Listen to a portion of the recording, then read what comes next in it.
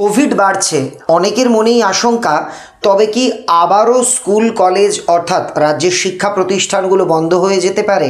এ বিষয় নিয়ে কিন্তু স্পষ্ট রাজ্যের অবস্থান জানিয়ে দিলেন আমাদের শিক্ষামন্ত্রী। কি জানিয়েছেন তিনি?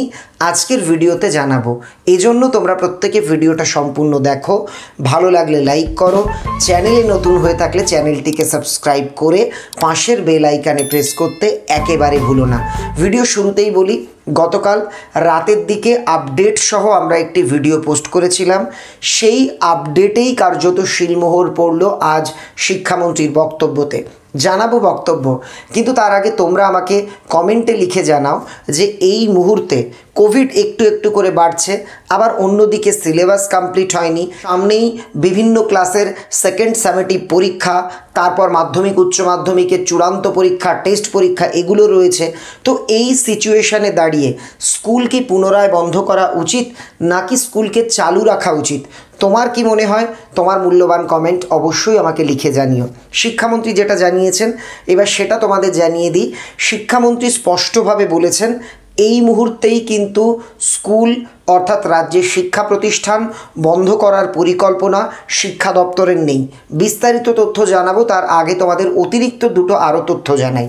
প্রথম, মাধ্যমিকের রিভিউ স্কুটিনির রেজাল্ট কবে দেবে তোমরা অনেকেই জানতে চাইছো। যত দূর জানা যাচ্ছে কাজ কিন্তু শেষের পথে, তবে এক্স্যাক্ট কত তারিখে ফলাফল প্রকাশিত হবে এখনও পর্যন্ত জানা যায়নি। আর উচ্চ মাধ্যমিকদের ক্ষেত্রে গতকাল রাতেই আমি বলে দিয়েছি যে প্রায় পঁচাশি হাজার মতন আবেদন জমা পড়েছে।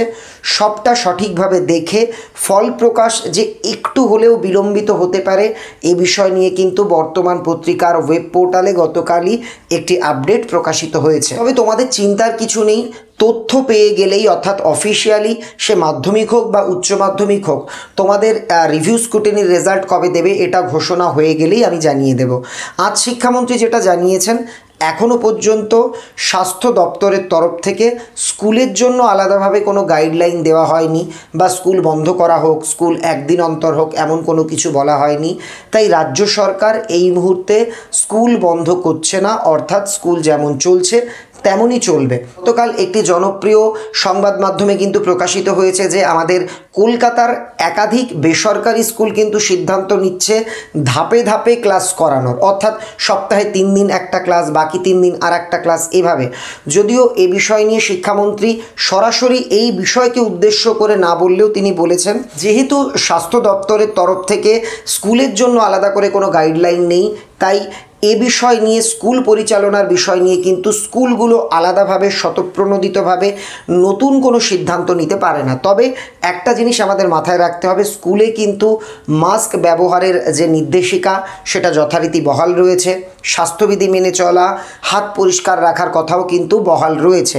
যদিও যেটা দেখা যাচ্ছে, রাস্তাঘাট থেকে শুরু করে স্কুল সব জায়গাতেই এখন মাস্ক পরা বা স্বাস্থ্যবিধি মানার ব্যাপারে সামান্য হলেও অনীহা দেখা যাচ্ছে। তো এক্ষেত্রে আমাদের উচিত সচেতনতা বাড়ানো। একই সঙ্গে কে পড়ল, কি পড়ল না সেটা অন্য বিষয়।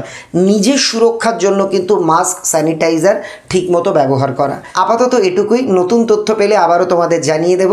ততক্ষণ সবাই সুস্থ থেকো, সতর্ক থেকো।